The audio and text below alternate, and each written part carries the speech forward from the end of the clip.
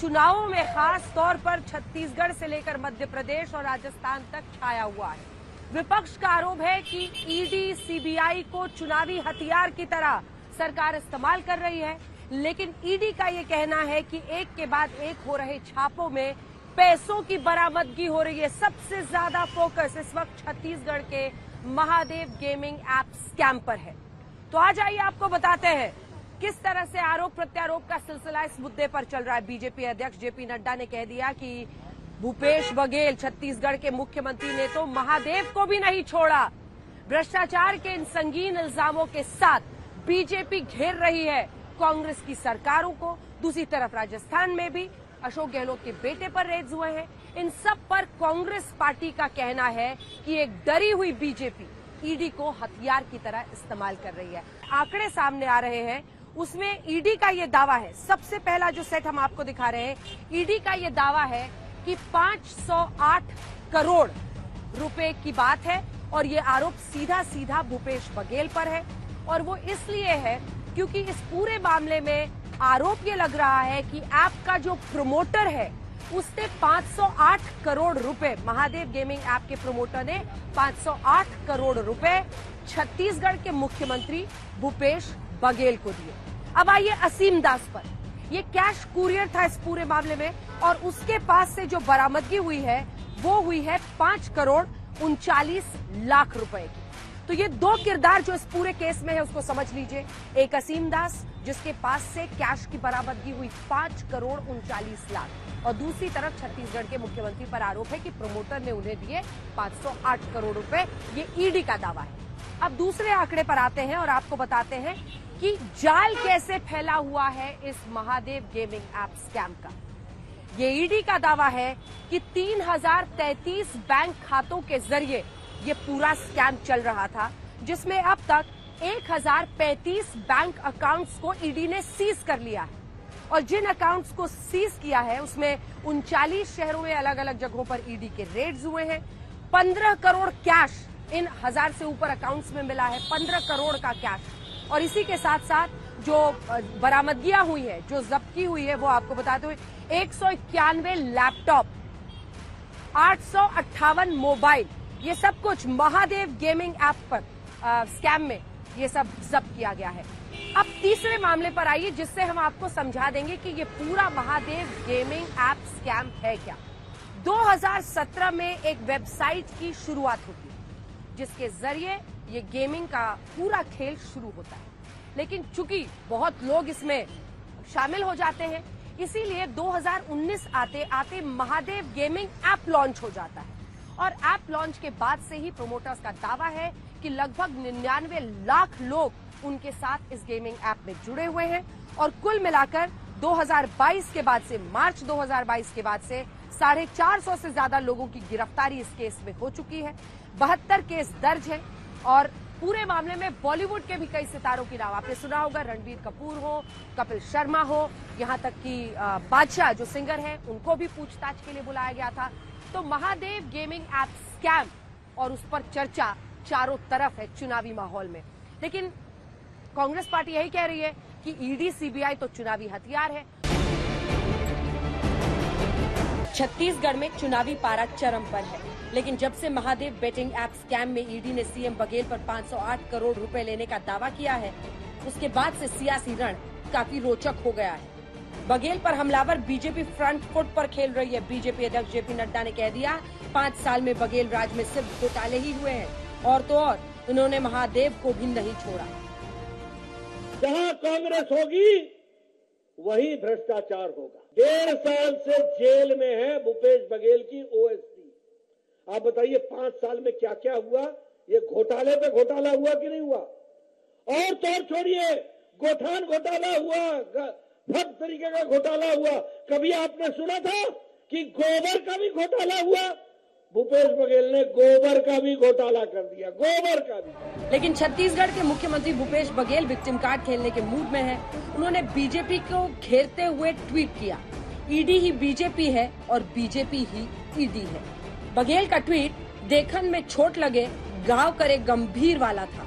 उन्होंने बीजेपी पर पहले भी आरोप लगाया कि बीजेपी ईडी को चुनावी हथियार बना रही है। इससे बड़ा मज़ाक और क्या हो सकता है? कि आप किसी सूबे के मुख्यमंत्री पे किसी आदमी से मार पीट के या दबाव डाल के बुलवा दो। मैं किसी को पकड़ लूँ और बोल दूँगा यदि प्रधानमंत्री का नाम लेने के लिए तो क्या प्रधानमंत्री से पूछताछ करेंगे? मतलब किसी की इज़्ज़त उछालना बहुत आसान हो गया।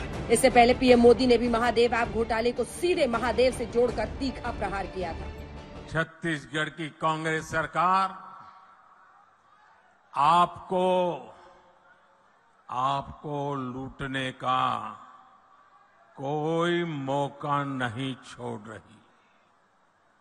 इन्होंने तो महादेव के नाम को भी नहीं छोड़ा है। उधर कांग्रेस ने पीसी करके बताया कि सीएम बघेल ने खुद ही महादेव ऐप स्कैम की शिकायत केंद्र से की थी लेकिन मोदी सरकार ने कोई एक्शन नहीं लिया। 24 अगस्त को माननीय मुख्यमंत्री बघेल जी ने बहुत विस्तार से व्यापक रूप से प्रेस कॉन्फ्रेंस की थी। पूरा चिट्टा खोल के बताया था कि ये ये हुआ महादेव ऐप में, इस प्रकार से जाँच हुई, इतना जब्त हुआ, इतने लोग गिरफ़्तार हुए, इतने केस हुए। ये कितने महीने हो गए? तीन महीने से ज़्यादा की बात है। उसके बाद केंद्र सरकार ने किसी रूप से इसको बैन नहीं किया। जहाँ राजस्थान के सीएम अशोक गहलोत कह रहे हैं कि बघेल को सियासी साजिश के तहत फंसाया जा रहा है। वहीं बीजेपी कह रही है कि बघेल 508 करोड़ को चुनावी प्रचार में खर्च कर रहे हैं। ये हमारे लिए इम्पोर्टेंट संस्था हैं ED income tax CBI economic offender के लिए ये बहुत संस्था आवश्यक होती है। उस पर ध्यान नहीं जा रहा है। सरकारें गिराने, सरकार बनाने फोर्स ट्रेनिंग करने और तंग करने के लिए हो रहा है। इसका जनता माकूल जवाब देगी इस बार। शुभम सोनी ने अपने एक लिखित बयान में ये कहा है कि अब तक महादेव ऐप के प्रमोटर्स ने छत्तीसगढ़ के मुख्यमंत्री भूपेश बघेल को 508 करोड़ रुपया रिश्वत दी है। कैश कुरियर असीम दास को ईडी ने पाँच करोड़ उनचालीस लाख कैश के साथ रायपुर में गिरफ़्तार किया। उसके बाद ही असीम दास ने ईडी के सामने सबूत देते हुए दावा किया था कि उसने बघेल को 508 करोड़ रुपए महादेव ऐप के प्रमोटर की तरफ़ से दिए थे। केंद्र सरकार इस स्कैम को बहुत गंभीरता से ले रही है। उसने सट्टेबाजी से जुड़ी 22 वेबसाइट्स और ऐप पर बैन लगा दिया है। ये पूरा मामला पाँच से छह हज़ार करोड़ का बताया जा रहा है, जिसमें आए दिन नए नए खुलासे होने से कई बड़े नाम बेपर्दा हो रहे हैं। आज तक ब्यूरो। सुधांशु त्रिवेदी जी, अब चुनावों में गिने हुए दिन बच गए हैं। और ऐसे में जब ये शिकंजा उन्हीं मुख्यमंत्रियों पर कसता हुआ दिख रहा है जहाँ जहाँ चुनाव होने वाला है तो कांग्रेस पार्टी आरोप लगा रही है कि आपने अपने चुनावी हथियारों को मैदान में उतार दिया है। लड़ाई है ईडी सीबीआई से कांग्रेस पार्टी की।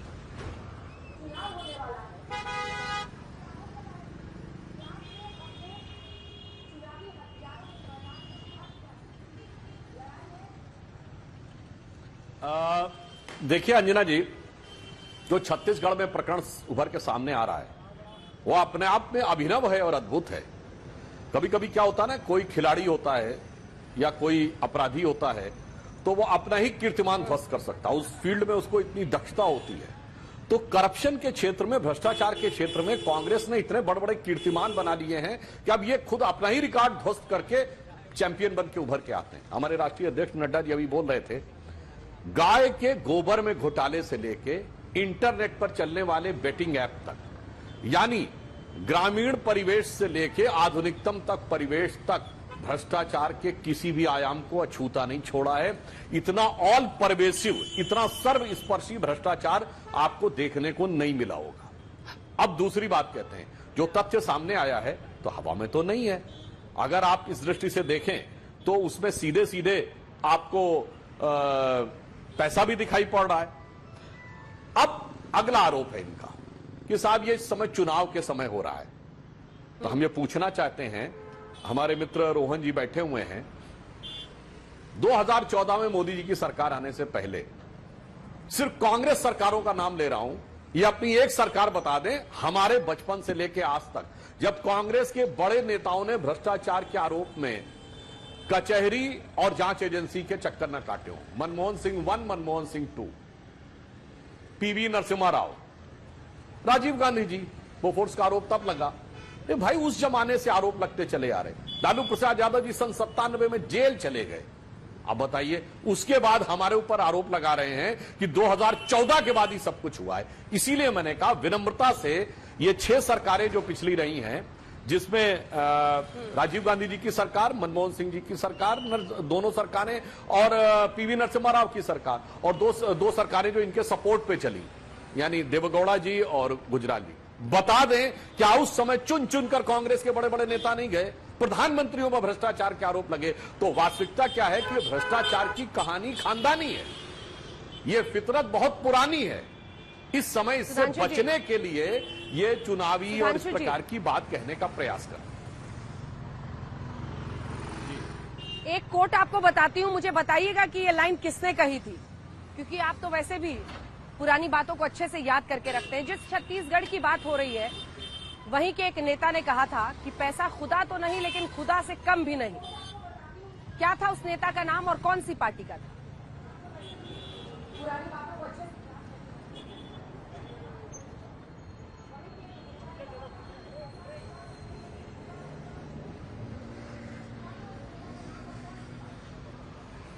अंजना जी, आपने बहुत अच्छा सवाल पूछा है तो मैं भी कहना चाहता हूँ। एक टेप में आया था कि कांग्रेस पार्टी तो अपनी दुकान है। ये किसने कहा था? और किस पार्टी के लिए कहा गया? आज तक किसी पार्टी के लिए कहा गया कि अपनी दुकान है। तो इसलिए मैं कहना चाहता हूँ, हाँ, वो नेता थे और इस वजह से उनका इस्तीफा भी हुआ और इसकी वजह से वो छत्तीसगढ़ के मुख्यमंत्री बनने वाले थे, वो नहीं बने। मगर मैं पूछना चाहता हूँ, उस दुकान का क्या हुआ? उस दुकान में अब मोहब्बत के सामान सजने लगे। जिस दुकान के बारे में कहा गया था कि पत्रकार लोग तय करते थे कारपोरेट लॉबिस्ट तय करते थे कि मंत्री कौन बनेगा। और उन विभागों का मंत्री जिनसे उन कारपोरेट के घरानों के लोगों का सीधा संबंध होता था, ये तो तथ्य के रूप में सामने रखता है। वो कोई मज़ाक में कहा गया बयान नहीं है। एक सीरियसली कही गई बातें हैं जिनमें बाकायदा बात हो रही है, ये डिपार्टमेंट किसको मिलना चाहिए, ये इसको मिल जाए तो ठीक रहेगा। इसीलिए मैंने सिर्फ़ सिंपल बात, और आपने जो कही अंजना जी, बिल्कुल, वो हमारे एक नेता थे जो सांसद थे। और मैं तो आपसे कहूँ अगर इस भारत के इतिहास में एकमात्र उदाहरण है जब प्रधानमंत्री पर भ्रष्टाचार सिद्ध हो गया उन्नीस सौ चौरानवे झारखंड मुक्ति मोर्चा रिश्वत कांड। सर्वोच्च न्यायालय ने साबित कर दिया कि झारखंड मुक्ति मोर्चा के तीन सांसदों को पैसा देकर कांग्रेस की नरसिम्हा राव की सरकार बची। सांसदों पर कार्रवाई इसलिए नहीं हुई क्योंकि संसद के अंदर अविश्वास प्रस्ताव के मामले पर कानूनी कार्रवाई नहीं हो सकती कॉन्स्टिट्यूशनल इम्यूनिटी है। तो ये तो सर्वोच्च न्यायालय से साबित भ्रष्टाचार और दूसरा हाई कोर्ट के द्वारा साबित भ्रष्टाचार, श्रीमती इंदिरा गांधी जी को चुनावी धांधली और भ्रष्टाचार का आरोपी सिद्ध कर दिया गया उन्नीस सौ पचहत्तर में, और उसके बाद इमरजेंसी लग गई। तो ये मैं कोर्ट के जजमेंट की बात कर रहा हूँ, बयान की बात नहीं कर रहा हूँ। ठीक है, चलिए रोहन जी, अब आपकी बारी है। दो प्रश्न आपसे सीधा करूँगी। एक प्रश्न तो ये है कि वो बता रहे हैं कि जब पूर्ववर्ती यूपीए की भी सरकारें रही हैं तो ज़्यादातर जो भ्रष्टाचार के मामले थे, या तो क्षेत्रीय दलों पर थे। किस तरह से डिस्प्रोपोर्शनेट एसेट्स केस का इस्तेमाल होता था, चाहे समाजवादी पार्टी हो, मायावती हो, उधर चारा घोटाला, लालू प्रसाद यादव के खिलाफ और कांग्रेस पार्टी के भी नेताओं के खिलाफ, उनका ये आरोप है कि जब बीजेपी की सरकारें नहीं थी, तब भी भ्रष्टाचार के मामले इन्हीं पार्टियों के आते थे सामने। ऐसे में नया क्या है? दूसरा, ये शुभम सोनी कौन है, जिसने वीडियो बनाकर खुद ये दावा किया है, दम भरा है कि उसने 508 करोड़ रुपए दिए, उससे लगातार पैसे वसूले जा रहे थे छत्तीसगढ़ सरकार की तरफ़ से। दो प्रश्न। अंजना जी। अंजना जी, पहली बात तो जो सुधांशु जी ने कहा कि नई कीर्तिमान स्थापित कर रहे भाजपा, बिल्कुल नए कीर्तिमान स्थापित कर रही है। उनकी लालच के कीर्तिमान स्थापित कर रही है। पहली बात पूरा देश देख रहा है कि जो चार राज्यों, पाँच राज्यों में बुरा हाल इनका होने वाला है जिस प्रकार से एजेंसी का दुरुपयोग हो रहा है, पूरा देश देख रहा है। और ये एक नया कीर्तिमान होगा कि इतना सब कुछ करने के बाद भी जनता ने करारे तरीके से भाजपा को पराजय किया। अंजना जी, ईडी का कार्यक्षेत्र तय हो गया है, राजस्थान और छत्तीसगढ़। मध्य प्रदेश, जहाँ पे व्यापम घोटाला हुआ इतना बड़ा, जहाँ पे सीबीआई की जाँच हुई, वहाँ पे ईडी नहीं जाएगी क्योंकि भाजपा की सरकार है। तेलंगाना में ईडी नहीं आएगी। वहाँ पे तो जो लीकर कांड में जो कविता है, उसको गिरफ्तारी भी होने वाली थी, पर अभी तक तो हुई नहीं है। तो वहाँ पे भी ईडी नहीं जाएगी। तो ईडी कहाँ जाएगी? जहाँ पे भी भाजपा की सत्ता खतरे में, वहाँ पे ईडी जाएगी। और जब जब जनता से भाजपा डरती है, तब तब वो ईडी को आगे करती है। तो मैं धन्यवाद चाहूँगा भाजपा का कि एक प्रूफ है कि उन्होंने हार का स्वीकार कर लिया। और बात आई इस मुद्दे की बात पे आ रहा हूँ। अंजना जी, ये जो मुद्दा चल रहा है, ये जो सौरभ करके जो बंदा था, उसकी शादी हुई थी फरवरी में 2023 में, जिसके पूरे देश में चर्चे हुए 200 करोड़ रुपए कैश में खर्च हुआ, दुबई में शादी हुई। बात हुई कि पूरा 200 करोड़ रुपए कैश में खर्चा हुआ। अगर पीएमएलए की हम बात करें प्रिवेंशन ऑफ़ मनी लॉन्ड्रिंग की तो ये तो उसका ईडी का पूरा कार्य क्षेत्र है। तो फरवरी से लेके अभी तक ये सरकार ने क्या किया? वो ऐप भी बैन नहीं हुई। चाइना की ऐप आपने बैन कर दी और ये आपको आपने क्यों बैन नहीं किया? फरवरी से 200 करोड़ का जो शादी हुई है, फरवरी से तस्वीरें घूम रही हैं। अब तक सरकार ने क्या किया? जो छत्तीसगढ़ सरकार के ऊपर आप सवाल उठा रहे हैं, उन्हें कम से कम साढ़े चार सौ लोगों को इस मामले में गिरफ़्तार किया। मेरे पास ये न्यूज़ है, जून के अंदर लुकआउट नोटिस जारी किया। आपने क्यों गिरफ़्तार नहीं किया? दुबई के साथ हमारी प्रत्यार्पण संधि है, आप जाके उनको गिरफ़्तार करते क्यों? पर आपको रोकना नहीं है, आपको करप्शन नहीं रोकना है। ये रिश्ता क्या कहलाता है? आपके माँ महीन की फ़ोटो इनके साथ वाजिब होती है। आपको जवाब देना है। आप जो असीम दास का आपने तस्वीर ईडी ने तीन तारीख को जो प्रेस नोट जारी की, उसमें एक असीम दास का नाम दिया। उसकी तस्वीरें रमन सिंह के साथ है। ये तस्वीरें बोलती हैं। उनकी तस्वीरें उनके पार्षदों के साथ है। ये तस्वीरें बोलती हैं। उस व्यक्ति के बयान पे सीएम के ऊपर आप आक्षेप करते हैं और आप मानते हैं कि छत्तीसगढ़ की जनता आपको छोड़ देगी, नहीं माफ़ करेगी। जो 10-15 सीट भी आने वाली थी, आप अंडे की ओर आगे बढ़ रहे हैं छत्तीसगढ़ में। शर्म आनी चाहिए चुनी हुई सरकार को। एक लोकतंत्र में हार होती है तो स्वीकार कीजिए ना। इस प्रकार की ओछी राजनीति मत कीजिए। जो भी आप कह रहे हैं लुकआउट नोटिस जारी करने के लिए जून में कहा, आज तक आप पकड़ नहीं पाए महादेव ऐप आप बैन नहीं कर पाए हम कल आप बैन करते इसको। क्या मैसेज देना चाह रहे जनता को समझ में नहीं आ रहा है क्या? इतनी बौखलाहट, अंजना जी, लोकतंत्र में ठीक नहीं होती है, पूरा देश समझ रहा है कि सिर्फ़ दो ही राज्यों में अगर ईडी जाती है, इसका मतलब क्या है कि भाजपा दोनों राज्यों में चुनाव हार रही है, बाकी दो राज्यों में नहीं जा रही है, एक में उनकी डायरेक्ट सरकार है और उनके एक समर्थन की सरकार है। तो ये तो दूध का दूध, पानी का पानी है।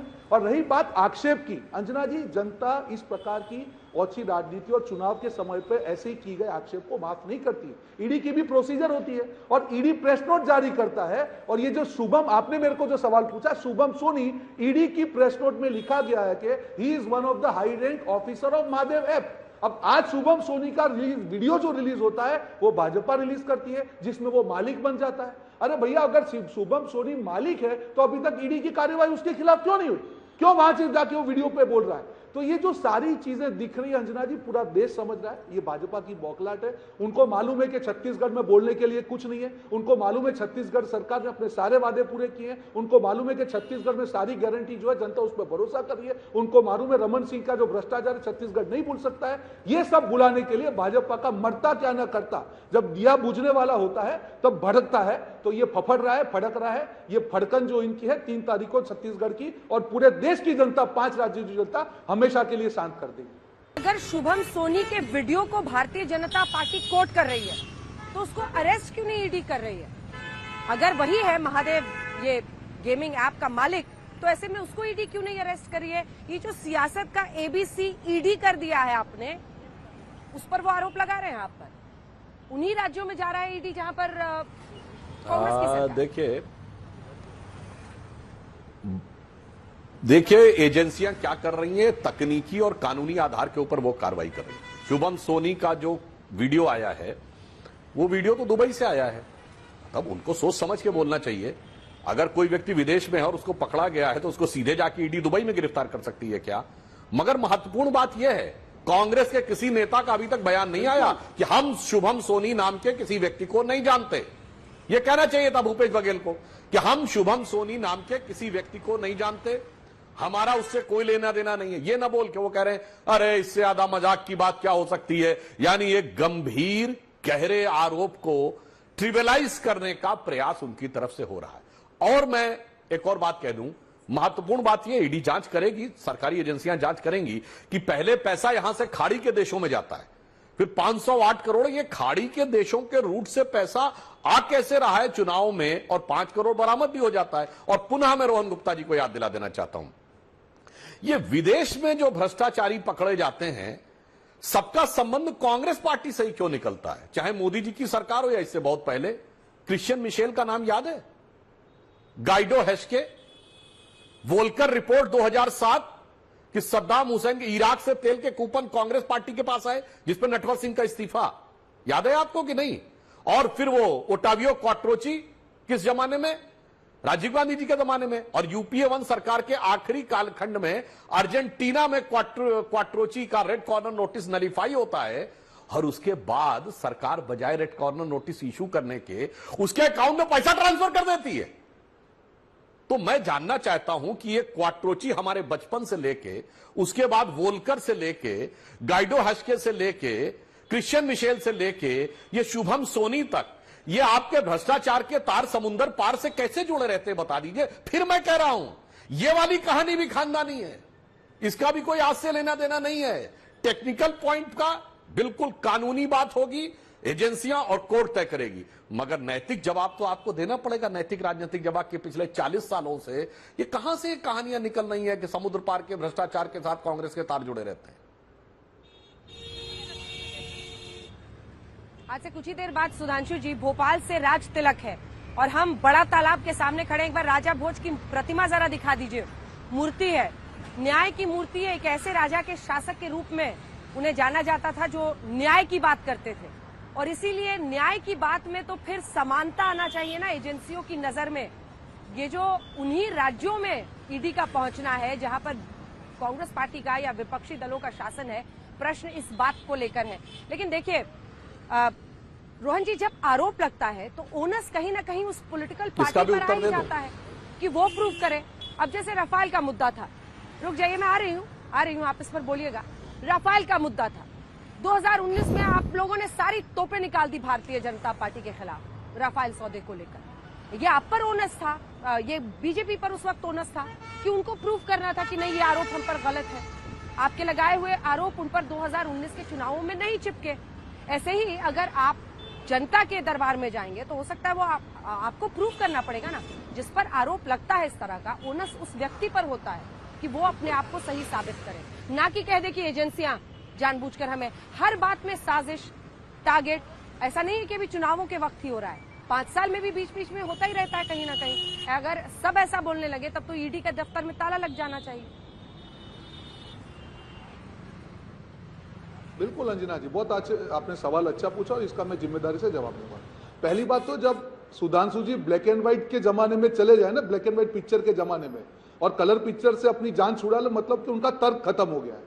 अरे भाई साहब, आज की बात कीजिए ना। सवाल तो आज हम छत्तीसगढ़ पे बात कर रहे हैं। और अंजना जी बहुत सही सवाल आपने पूछा। देखिए, कोई भी एजेंसी होती है, उसकी विश्वसनीयता प्रूव करना उस सरकार का काम होता है। हमने सबने देखा है। मैं हमेशा कहता हूँ कि 5422 जो पीएमएलए के केस में, उसमें से तीन चार जो केस हैं, भाजपा के छोटे मोटे नेता का खिलाफ है, बाकी कोई भी भाजपा के उसके अंदर नहीं आज ईडी को, अगर ये मैं आपको वापस रिपीट कर रहा हूँ, फरवरी 2023 में इस आदमी की शादी होती है 200 करोड़ का खर्च किया जाता है दुबई में, तब से ईडी की रडार में है। तब से ईडी ने काफ़ी फ़िल्म स्टारों को भी बुलाया, सब कुछ किया। फरवरी से लेके आज हम नवंबर तक की बात कर रहे हैं, तब तक ईडी ने इस ऐप को बैन क्यों नहीं किया? पॉइंट नंबर वन जून में छत्तीसगढ़ सरकार ने लुकआउट नोटिस जारी किया है इनके खिलाफ। तो मुझे बताइए जून जुलाई अगस्त सितंबर अक्टूबर नवंबर में हम खड़े हुए हैं। तब तक सरकार ने ईडी ने क्या किया? वापस मैं बोल रहा हूँ दुबई के साथ हमारा प्रत्यारोपण संधि है। आज क्या सरकार ने प्रयास किया इन लोगों को दुबई से यहाँ पे वापस लाने रोहन जी। शुभम सोनी के वीडियो की बात करें आज बीजेपी तरीके से कहे रोहन जी, एक- एक सिंपल सवाल है आपसे। और ईडी को बताए। कि क्या भूपेश। बघेल जनता के सामने आकर बोलेंगे? सुनिए ना सर।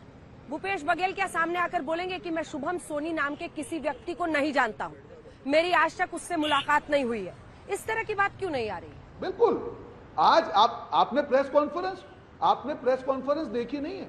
आज ही देखी आपने देखी उन्होंने आज प्रेस कॉन्फ्रेंस करके कहा कि आज तक दो मुखिया को जो कहा जाता था कि जो इसके ओनर है आज शुभम सोनी उसके मुखिया बन के आ जाते हैं। और शुभम सोनी ये कहते हैं कि सौरभ चंद्राकर और जो रवि उपल है, उसको हमने खड़ा किया। तो इसका मतलब शुभम सोनी मालिक है और सौरभ की शादी में, अपने नौकर की शादी में ढाई सौ कर खर्च किया। ये इनका बयान है, आपने सुना नहीं है? भूपेश बघेल जी ने क्लियरली कहा कि रिश्ता क्या कहलाता है? आप बताइए कि शुभम सोनी हो या रवि उप्पल हो या चंद्राकर हो, इसके भाजपा से क्या रिलेशन है? हम तो सामने आक्षेप कर रहे हैं, जब माँ महिम की तस्वीरें उनके साथ में है, चंद्राकर के साथ में इनके माँ महिम की तस्वीरें, भाजपा उसका जवाब नहीं देना चाहिए। रमन सिंह के सामने, रमन सिंह के साथ में असीम की, असीम दत्ता की तस्वीरें, क्या भाजपा को जवाब नहीं देना चाहिए? हम तो जवाब देने को तैयार है, मुख्यमंत्री जी ने जवाब दिया है। हमारे आक्षेप का जवाब भाजपा क्यों नहीं दे पा रही?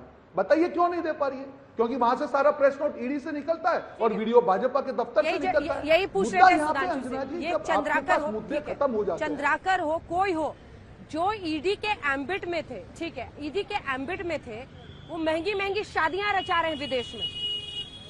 ईडी उनके सामने बड़ा असहाय दिखता है।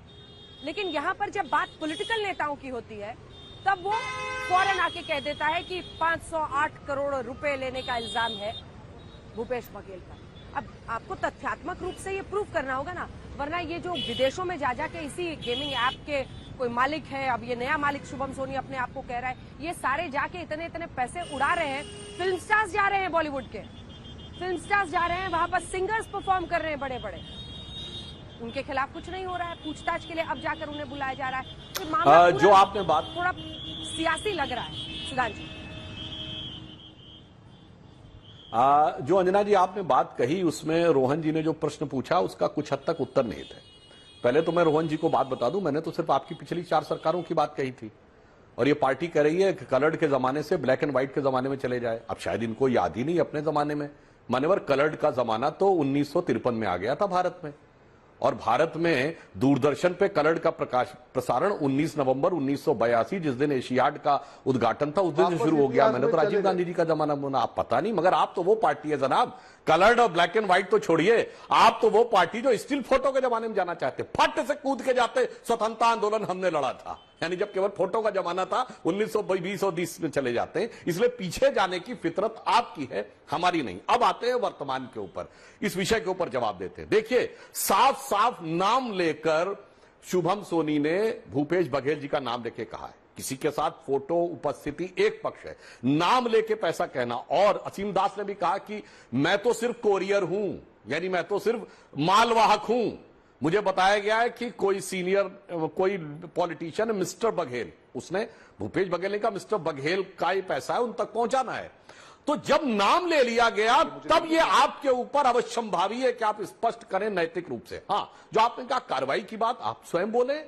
भाई, दुबई में अगर खर्चा हुआ है तो मानी हुई बात है आपने कहा प्रत्यर्पण संधि है तो प्रत्यर्पण संधि के लिए गहरे तथ्य आ, आपको फैक्ट्स इकट्ठा करने पड़ेंगे फिर कोर्ट की प्रोसीडिंग में जाना पड़ेगा और उसके बाद आप मूव कर सकते हैं। तो मानी बात है विदेश में अगर कोई घटना घटनाक्रम हुआ तो आप स्वयं कह रहे हैं कि फ़िल्म स्टारों से पूछताछ हुई बहुत सारे लोगों से पूछताछ हुई तो ईडी ईमानदारी के साथ उन तथ्यों को इकट्ठा करने में लगी हुई है। इसीलिए मैं आपसे कहना चाह रहा हूँ कि टेक्निकल पॉइंट तो अपनी जगह है और पॉलिटिकल देखिए अभी अंजना जी एक बड़ी मज़ेदार बात बताएँगे।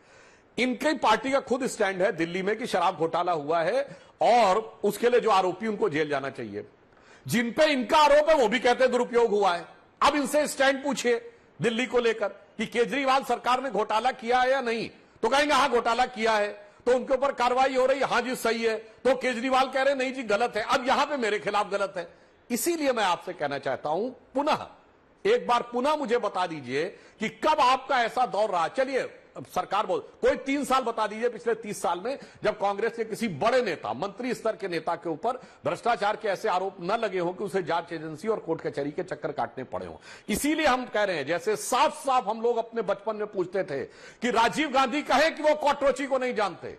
वैसे आज हम पूछते हैं कि भूपेश बघेल कहे कि मेरा शुभम सोनी से कोई संबंध नहीं है, पर पता है कि बैठा हूँ दिल में इतने राज छुपाए, जरा सा जबान हिलाऊं तो दिल डगमगाए। इस डर की वजह से नहीं बोल पा रहा हूँ। मोहन जी अब इंडिया अलायंस की तो बात करने बिल्कुल ही बेमानी है। एक सेकंड सर इस पे इस पे हाँ इस पे, पे। क्योंकि यही अखिलेश यादव आकर मध्य प्रदेश में कह रहे हैं कि ये कांग्रेस वाले ठगते हैं। कांग्रेस बड़ी चालू पार्टी है। अखिलेश यादव कह रहे हैं यहीं पर अभी चुनाव में। अब कितने महीने बचे हैं? उधर तीन चार इधर दो तीन महीने बचे हैं लोकसभा चुनाव में। गठबंधन आप लोगों का हुआ था। आप लोगों को चालू पार्टी ठगने वाली पार्टी कह के जा रहे हैं। अरविंद केजरीवाल पर क्या स्टैंड है? यानी जो इंडिया गठबंधन, तमाम विपक्षी पार्टियों को एकजुट होना था कि हथियार की तरह इस्तेमाल हो रहा है ईडी और सीबीआई का, वो तो अब दिखता ही नहीं है, क्योंकि आप लोग आपस में ही भिड़ गए अभी से। दोनों का जवाब। सुधांशु जी ने, देखिए, सुधांशु जी कई बार ज़्यादा बोलने के चक्कर में, क्योंकि अंतरात्मा में कहीं उनकी थोड़ी बहुत पाँच दस प्रतिशत सच्चाई बची है, ज़्यादा बोलने के चक्कर में सच बोल देते हैं। उन्होंने कहा कि ईडी को पूरा इंक्वायरी करना पड़ेगा। बिल्कुल! ईडी तो बिज़ी है, ईडी तो राजस्थान में बिज़ी है, ईडी छत्तीसगढ़ में बिज़ी है। ईडी के पास समय कहाँ है कि जो फरवरी में जो शादी हुई? फरवरी 2023 में जो शादी हुई, उसकी जाँच ईडी नवंबर तक नहीं कर पाई। ईडी ने प्रेस नोट जो जारी किया, भूपेश बघेल के खिलाफ जारी किया। ईडी ने कभी महादेव ऐप के खिलाफ प्रेस नोट जारी नहीं किया। पाँच हज़ार करोड़ का गबन देश का पैसा बाहर चला गया, तब ईडी का प्रेस कॉन्फ्रेंस नहीं होता है, प्रेस नोट नहीं आता है। और जब विपक्ष के सामने आक्षेप होता है, तब ईडी का तीन तारीख को प्रेस नोट आता है तो जवाब तो आपको देना है। ये सहयोग नहीं है भाजपाई प्रयोग है। और मैंने आपको एक तस्वीर दिखाई, आप में हिम्मत है? आज भूपेश जी ने कहा प्रेस नोट करके कहा, ये रमन सिंह के साथ हमने तस्वीर असीम दास की करी। आप में हिम्मत है आपके किसी नेता के टीवी के आप सामने बात करने की? आप में हिम्मत नहीं है, क्योंकि आपको मालूम है कि आप चुनाव पूरी तरह से हार रहे हैं। और दूसरी बात, आपने एक और मुद्दा कहा, लीकर कांड की बात।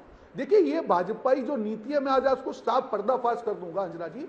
एक ही केस है, लीकर केस, जिसमें अरविंद केजरीवाल का भी नाम है और कविता का भी नाम है और कई मीटिंग साथ में हुई है। एक के खिलाफ वहाँ पे वारंट आ रहा है, उनको बुलाया जा रहा है और दूसरे क्योंकि बीआरएस उनके सहयोगी है, कहीं ना कहीं भाजपा की बी पार्टी यहाँ पे। भाजपा रिश्तेदार समिति है वहाँ पे कोई एक्शन नहीं है। एक ही केस डिफरेंट ट्रीटमेंट इसीलिए भाजपा की नीयत के ऊपर कोर्ट है कि 5422 केस आप करते हैं। आप हिम्मत के साथ कोई बड़े नेता का नाम दीजिए कि जिसका बड़ा भ्रष्टाचार आपने नोट किया हो। जो भी भाजपा के वॉशिंग मशीन अंदर जाता है, साफ़ होकर निकल जाता है। पर पूरा देश समझता है, आपकी नियत में खोट है। आप पे देश भरोसा नहीं करेगा। कितना भी कर लो, कितने भी कर ले तू सितम। हंस हंस के सहेंगे कम। ये प्यार ना होगा कम। सनम तेरी कसम। भाजपा के लिए जो इनका भ्रष्टाचार है, पूरा देश समझता है। हम लोग भी प्यार से लड़ेंगे, मोहब्बत से लड़ेंगे, भाजपा को मोहब्बत से पाँचों राज्यों में हराएँगे और ये जनता का, जनार्दन का जो जो जो वर्डिक्ट आएगा, वही भाजपा के मुँह पे एक तमाचा होगा, वो भाजपा के लिए सीख होगी। इस प्रकार की और सी राजनीति ना करें। लोकतंत्र के चुने हुए मुख्यमंत्री के खिलाफ आक्षेप करने से पहले आपकी विश्वसनीयता जाँच ले, पूरी तरह से जाँच करें, उसके बाद आप आक्षेप करें। ठीक है ठीक है। रोहन जी आप इनको सनम भी कह रहे हैं कह रहे हैं सितम भी इनका झेल लेंगे लेकिन असली सनम तो आप लोगों के थे इंडिया अलायंस के साथ ही। अखिलेश यादव वाले सवाल को आपने अनसुना कर दिया एकदम। बिल्कुल। नहीं वो भी जवाब दे देता हूँ मैं आपको उसका भी जवाब दे देता हूँ। देखिए हमने पहले भी कहा कि जो हमारा अलायंस है वो राज राष्ट्रीय चुनाव लोकसभा चुनाव के लिए है उसका हमने प्रेस नोट भी कर दिया। अखिलेश जी के जो अपने एमपी में हुआ कई छोटी मोटी चीज़ें होंगी, हम तो सुलझा लेंगे। पर एनडीए कहाँ पे है? उनको तो सवाल पूछिए। मिजोरम में रूलिंग पार्टी ने चालू चुनाव में कह दिया कि हम तो एनडीए में है ही नहीं। उनको मालूम है जो मणिपुर की परिस्थिति की है। अगर भाजपा के नेता के सामने मंच पे बैठ के तो उनकी डिपोजिट चली जाएगी। उन्होंने पीछा छुड़ा लिया। एनडीए में से एआईएडीएम के सबसे बड़ा घटक दल। उसने पीछा छुड़ा दिया। अरे एनडीए पर नॉन डेमोक्रेटिक अलायंस वहाँ पे सिर्फ़ एक नेता है। बचा ही नहीं है कुछ। It is a non democratic alliance आप इंडिया की बात करें सवाल उनको पूछिए। जो 38 लोगों को इकट्ठा करके आनंद फानन में मीटिंग की थी आज 38 में से कितने बच गए? कोई नहीं बचेगा। जो तोड़ी हुई पार्टी वही आपके साथ बचेंगे। क्योंकि आप भस्मासुर है आपको जो भी टच करेगा वो भस्म बन जाएगा सारी पार्टियों को मालूम है। इसीलिए आपके ओरिजिनल साथी भी आपके साथ नहीं है और नए साथी भी आपके साथ आप कोई भरोसा नहीं कर सकता। ना जनता भरोसा केजरीवाल है पर बार बार घेरने से कोई। फ़ायदा नहीं होगा। सुनिए अब सवाल तो सुनिए सवाल तो सुनिए। देखिए आरोप विपक्ष का यह है कि बीजेपी के नेताओं के खिलाफ आप एक तो जाँच को आगे ले जाते ही नहीं। आपने कहा कि इतिहास रहा है, जितने भी मामले ऐसे आते हैं, वो कांग्रेस पार्टी के क्षेत्र दलों के निकलते हैं। लेकिन बंगारू लक्ष्मण रहे हो, या जिनका निधन हो गया, जिनका मैंने कोट किया था कि पैसा खुदा तो नहीं, लेकिन खुदा से कम भी नहीं, दिलीप सिंह जुदेव साहब, ये सारे बीजेपी के नेता थे ना? अब ऐसे में सवाल ये उठता है कि आप सबको एक तरीके से क्लीन चिट दे दें, ये भी ठीक नहीं है। ऐसे नेताओं के खिलाफ क्यों नहीं जाँच के मामले होते हैं? जो भारतीय जनता पार्टी के नेता हैं, सबको आप पहले से क्लीन चिट दे देंगे, नहीं, सब, सारा भ्रष्टाचार उधर ही हो रहा है। देखिए, पहले तो मैं बताऊँ, जो रोहन गुप्ता जी ने वो सनम वाला गाना सुनाया था, मुझे लगता है शायद वो इनकी पार्टी पे बेहतर लागू होता है भ्रष्टाचार को लेकर। ऐसी भ्रष्टाचार से लगन लग गई है कि लागी छूटे ना, अब तो सनम चाहे जाए जिया तेरी कसम। भ्रष्टाचार छूटता ही नहीं है, लगातार बरस बर बरस सरकार दर सर, सरकार दर सरकार चलती चली जाती है। हाँ मगर अब जो आपने बात कही, देखिए मैं एक और फैक्ट बात कहूँ, आज वो पुरानी बात हो गई, मैं दर्शकों से कहना चाहता हूँ, बंगारू लक्ष्मण का मामला भारत के राजनीतिक यानी जरा न्यायिक इतिहास से भी विचारणीय बात एक ऐसा आरोप था जिसमें कि किस चीज़ के लिए पैसा लिया गया, यही नहीं पता था। और जिस व्यक्ति ने पैसा लिया, मैं कह रहा हूँ, हाँ, पैसा लेते हुए वो ऐसी कोई पोजीशन में ही नहीं था कि उस डिसीज़न को प्रभावित कर सके, फिर भी हो गया। इसलिए वो एक अलग विषय हम स्वीकार करते हैं। मगर मैं पूछना चाहता हूँ, आपने बंगारू लक्ष्मण वाली बात कही, हम इतने दिन सत्ता से बाहर रहे, हमारे किसी नेता पे भ्रष्टाचार का कोई आरोप लगा पाए? अंजना जी, कभी लगा, कभी नहीं लगा? हाँ लगे। सब फर्जी आरोप लगे। श्री राम जन्मभूमि का भव्य मंदिर बनने जा रहा है। उसका तथाकथित विवादित ढांचा, जिसे तथाकथित बाबरी मस्जिद कहे, उसके लिए 120 बी के झूठे आरोप लगे। अडवाणी जी पे, जोशी जी पे, उमा भारती जी पे, विनय कटियार जी पे, और बहुत सारे लोग जो कि अब अशोक सिंघल जी के। उसके बाद जब ये आए तो फिर वो तथाकथित हिंदू आतंकवाद के फर्जी केस लगाने शुरू किए। अगर ये आरोप लगा पाए तो केवल फर्जी उन केसों में। कभी भ्रष्टाचार को लेकर उंगली नहीं रख पाए। और इनकी सरकार रहते हुए भ्रष्टाचार के ऊपर इनके ऊपर उंगली नहीं उठी। जनता का हाथ इनके गिरेबान तक पहुँच गया।